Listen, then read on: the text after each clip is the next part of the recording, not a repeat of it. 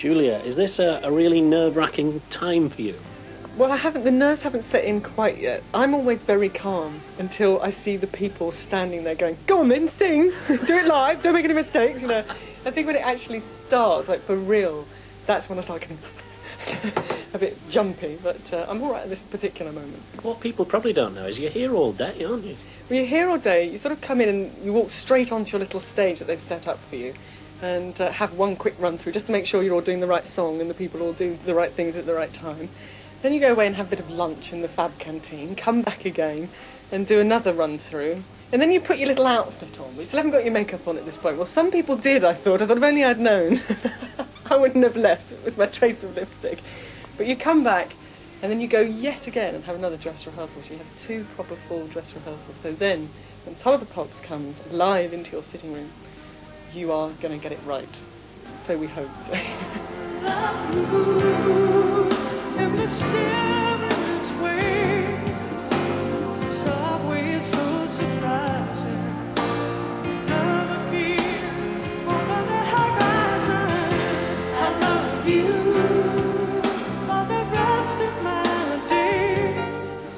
I finally get to find out what it's like to be part of Crew 5, the camera crew that are shooting tonight's Top of the Pops. Every cameraman has up to 20 carefully choreographed shots for every song, and they're all written down on here. Just four minutes to go before this lot get in to see Top of the Pops. Where have you come from? St Augustine's ready. Madonna often mimes during her most energetic dance routines. Few people think it's wrong. Not even a star who'd never dream of miming herself. Julia Fordham. Donna, Janet Jackson. I mean, their whole thing is like dancing, looking fabulous, all these people rushing around. I mean, if I like ran up there and ran back again, I'd probably be out of breath. When you do that, If at all. And at least with Top of the Pops, you know what you're getting. Now there's a growing movement among pop stars for the same kind of honesty about concerts. I like to go to a concert and see people really sing, but I still think there is a case for people representing their art, whatever way they want to do it. And if that involves, you know, the miming, the tapes, and all the dances, then brilliant, do that. And just say, on the ticket, that's what people are going to get. That'd be an idea, you know, really sort out the, Men from the boys. the men from the boys, the girls. In a busy bistro. What could be nicer? Beautiful wine, beautiful surroundings, and a beautiful woman to share it with. I hate red wine.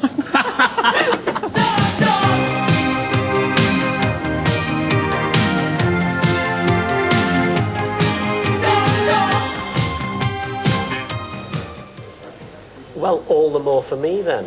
Are you some sort of um, health fanatic in that you don't drink, or is it just red wine that you're not particularly partial to? Can't hold my drink, I'm afraid. If I had had a glass of wine that I would in fact be everybody's in this room. Oh, really? Yes, it's a bit like that. And then I feel dreadful for days afterwards. So I just, I've worked out that I feel like crap when I drink, so I don't do it. Has that been a, a, a discipline that you've found hard to enforce? Well, not really, because I mean, I really feel that bad. And I don't, I sort of like fall straight down dead drunk on like one glass. So it's fairly easy because I know that if I want to keep my reputation intact, that it really is quite a wise choice. It's a bit boring, though, isn't it? Oh, I don't know. You don't need that to have a fantastic time. No, you don't. You're absolutely dead.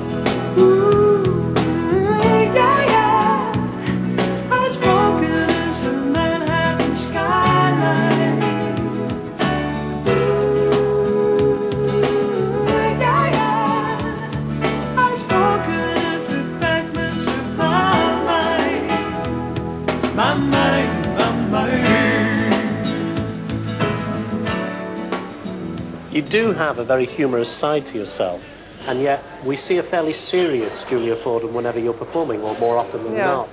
Is that, is that a bit of a clash? I think it can be. I think that the trouble is that the songs are a little bit on the serious side, aren't they? I mean, they are, you know, and if you're getting lots of letters from people saying, I can't wait to see the gig, you know, this song broke my heart, it was me and my boyfriend, and I can't get out there and then bring on 10 all dancing, singing chaps with sparkly trousers, you know, it's going to crush that for them. And it's the same for me. I think that the minute, if I had a guitar now and I was about to sing a song, I would probably spend 10 takes laughing, but I would try and deliver it with the sincerity that it was written. Are you a self-styled person, or do you have a stylist who sorts you out? I know what shops work well for me, and I will go there and you know get myself some outfits. So I have not had anyone saying, "I think you should wear this on Top of the Pops," or "What about that?" I'm much more. I've seen this red velvet coat, and I want to have it on my album cover. I'm going to wear it in the video. It's a great idea, isn't it?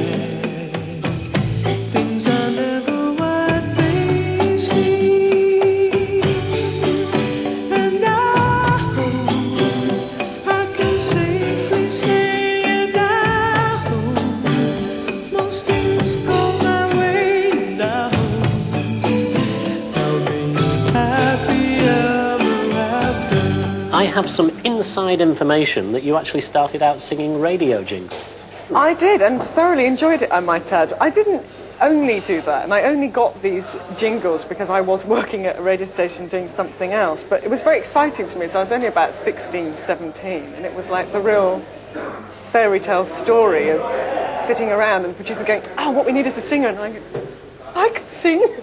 and they went, Yeah, right, the kid upstairs giving out stickers. I said, No, I really can. I write songs and everything. So they gave me a song, that was a jingle to do. And before I knew it, I was, you know, quad stamps at the co-op. Come on down to here. So where do you write? Do you have a, do you have a special spot for writing? No, I write as I go. I'm like a washing up, hoovering, on the plane, in the taxi kind of writer.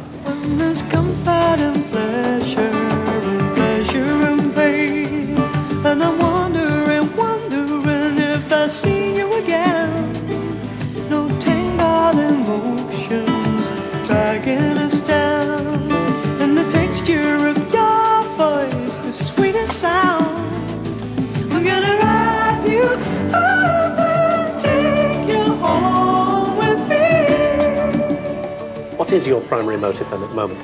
Because you do have a beautiful actress type look about you. I don't know about this acting malarkey. I mean, there's two things that worry me.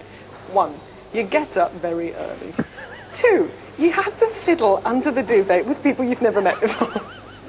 this bothers me. Do you ever think that when you're watching these things? Like, oh no, I don't know. I, I think I'd have to like take a lot of courses and wrestle with my past lives and ego on the floor.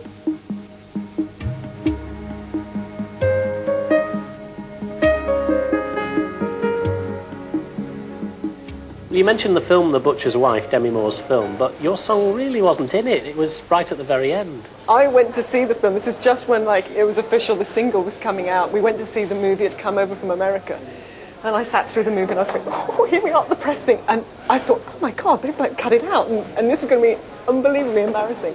So Ten years of credits roll by, and suddenly it's, doom, doom, doom. I was like the only person left in the theatre. Mysterious ways. It's always